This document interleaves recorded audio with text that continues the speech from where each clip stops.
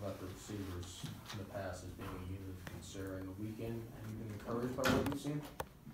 I have, I think that, you know, as you mentioned, we've been concerned with that position, I think that, you know, that position more than anything probably was the difference in year one and year two, um, especially once we got Caleb back, so, um, that position was very disappointing last year, there's still a lot of concerns because of numbers of losing people, I mean, I think we lost four guys, you know, that, that transferred, so, um, those aren't just you know, guys you don't get that are young guys, those are guys that should be ol- older, veteran guys in your program, so, uh, I've been, um, impressed with John Mitchell.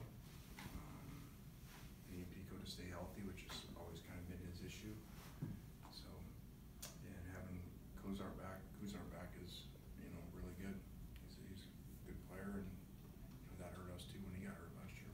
And it seems like Willie, especially last year after the concussion, you had said that he doesn't look like himself. It seems like Willie is kind of looking how he did at the end of his freshman year. Um, that's not really a question, that's just your observation. Well, Was there a question to that? Yeah, I mean, what do You you just see? wanted to show how, Well, how what do you you- can I'm, I'm observe personnel, What are you seeing from Willie? your talent evaluator. Um, Willie seems to look like he has, like, towards the end of his freshman year.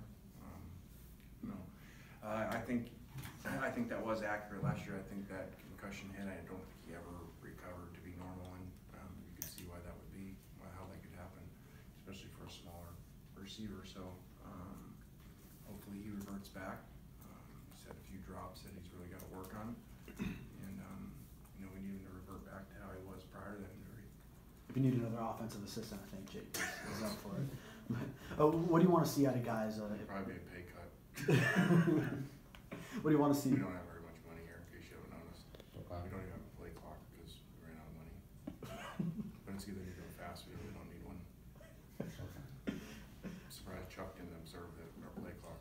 We don't have a play clock anymore. Chuck's not been himself this week. But He knows I'm angry about them.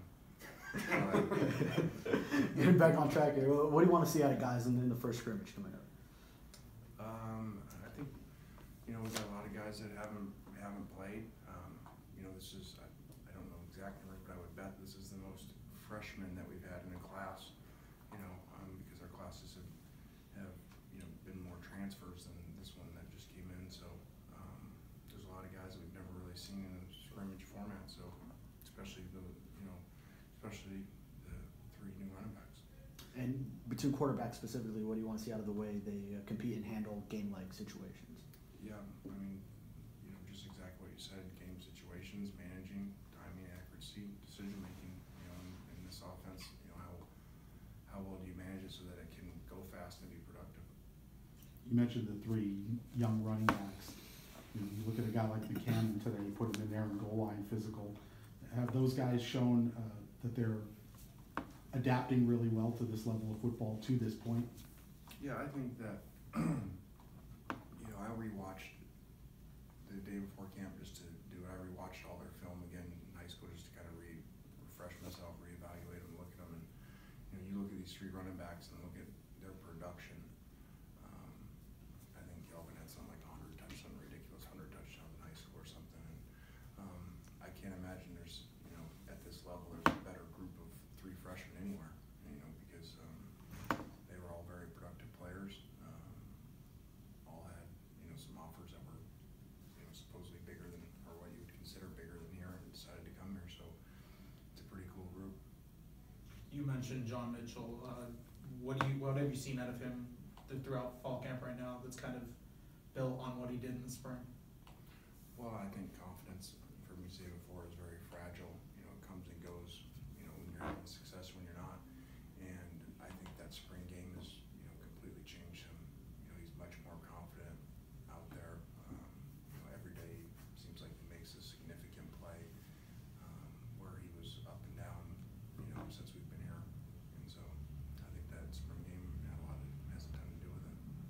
the uh, play of your not only first team safeties but Armani and TJ back in the month Is that something that has stood out so far? Uh, TJ, um, nothing against Armani, but TJ definitely has. He had two interceptions the first day, a third interception the second day, so uh, he, has been very productive. As you mentioned, one of the reasons you brought in Coach Spencer was that he gave people fits with the defense he was running at Charlotte. Uh, in camp so far, even though you kind of know what they're doing and he knows what you're doing, has, has that defense caused some, some issues? Yeah, I mean, that's why we brought him here. You know, they're very hard to run the ball against. That scheme, it's a unique scheme that hardly anybody does. And it gives people problems. You know, look to last year, they go into Tennessee and um, only get one offense, you know, only get one score on defense the entire game. I think they held them to twenty-eight yards rushing or something like that. So, um, you know, I said, hey, let's look at, that came up because I said, let's look at what games last year, you know, did he have problems? You know, who ran the ball and look at the stats, you know, because it's hard to run against that. And we had the second most of any rushing of anybody they played. I think maybe Marshall was first or something. So, um, that's why he's here. You know, it's very tough and a very unique scheme. And, and people think they can run on it because, you know, you see the three deep safeties, but it's really hard to run against because those guys are so aggressive into the fits. You decide yet how you can allocate QB reps on Saturday, will it be, you know, let's say Chris is gridlocked with the ones, trying to with the twos, or will it be how you've been doing it in these practices? Uh, we haven't figured it out yet, but I, I would, I would certainly think that we would, we would be split between three ways between those three and ones, twos, threes and rotate around, so they all have equal opportunities for us to evaluate. Saw the intensity kind of ramp up there uh, for goal line drills. Um, how much how much do you like to see that, and also you know kind of keep some balance in, in that respect? Yeah, it's good, you know, they gotta learn to protect their team too, though, you know, they get all excited and they start tackling them, you know, it's not supposed to be a live period. So, um, you know, we just, we gotta learn from that, but it's always, it's a lot better to have a team that you're trying to slow down than a team that you're getting mad at because they don't hit, so it's a good, it's a good problem. You mentioned the play, or we mentioned the play of running backs. They've looked really good throughout the spring. How important has Coach Smith been in their development, especially in the young guys? Well, he does a great job with them. Um, you know, two of the three young guys were here this summer. Um, the third one, uh, Glover just got here, so he's behind, uh, you know, these summer programs, you know, nowadays, you know, you do so much in the summer with these kids, you know, in the weight room and then, you know, the little bit of classroom you're allowed, that, you know, when you don't get here until fall camp, which used to be, everybody got here at fall camp, it didn't used to be, you know, you used to get kids early summer. But nowadays, I feel like you're so far behind, you know, we got, I think, three kids that, that got here, you know, that weren't here for the summer, scholarship kids, and, you know, they're way behind. So, um, back to that point, he's done a great job with those two that are already here, and he's doing a good job so far with Glover. We've talked about Saturday? Uh, I would assume so, probably half or something like that.